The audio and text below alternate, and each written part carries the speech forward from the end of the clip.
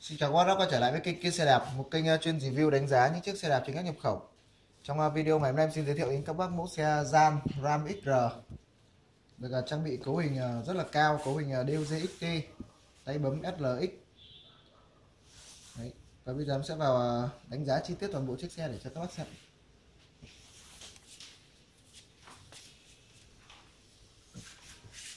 Khung của chiếc xe thì kim nhôm xe còn rất là mới.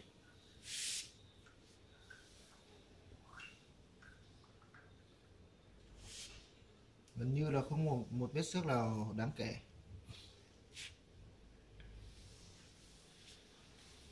Đấy, chủ xe là chỉ đi lướt qua rồi bán nên là xe giữ gìn rất là mới đẹp. Cùi đề DOJ XT rất là cao cấp nhé.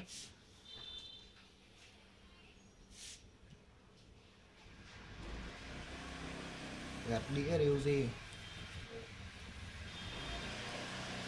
tay bấm xả SLX rất là cao cấp của dòng Shimano. Thân dầu Shimano. Xe nhập khẩu chính hãng. Nguyên chiếc về. Đồ đạc nguyên zin.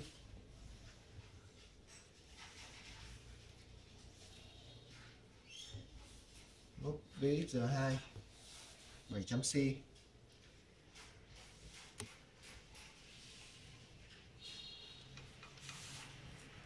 Mayo đi vòng Shimano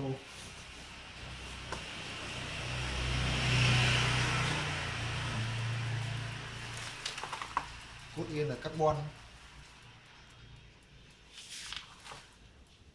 Đấy, và giờ em sẽ vào đo size và test chuyển động của chiếc xe để cho các bác xem.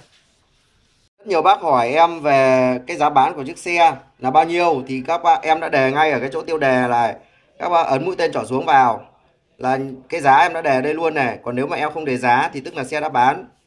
Cái thứ hai là một số bác bảo là không thấy YouTube gửi thông báo khi mà em đưa lên xem xem mới lên trên kênh ấy, thì các bác ấn cho em cái chữ đăng ký. Chọn, ấn chuông, chọn tất cả. Đấy, thì nó sẽ gửi tất cả các cái thông báo khi nào bên em cứ có xe nào đăng lên trên kênh thì nó sẽ gửi cho các bác vào thông điện thoại nhá.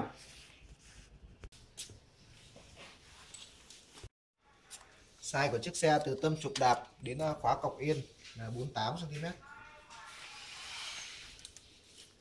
từ khóa cọc yên đến tâm cổ phốt là 55 cm chiếc xe là size à, M, size à, trung bình cho các bác từ khoảng 1m64 65 đến 1m74 75 đi là phù hợp. Để DUC XT 10 tầng lít ba tầng đĩa.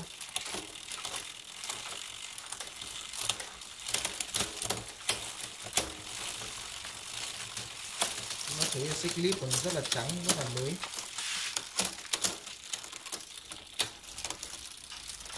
Lên xuống rất là mượt mà.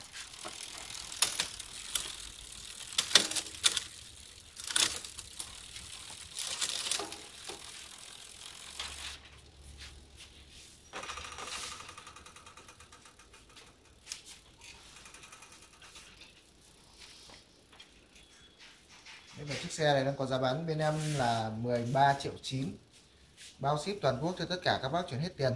Các bác à, quan tâm đến chiếc xe thì liên hệ số Zalo trên màn hình 0975 709 943 để nhân viên bên em tư vấn và hỗ trợ.